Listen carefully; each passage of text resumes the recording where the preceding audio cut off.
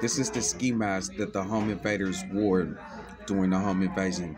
All of these are movies, and these movies were used to kill um, 11 people for their IDs, um, do bank robberies, home invasion, and um, church pillage.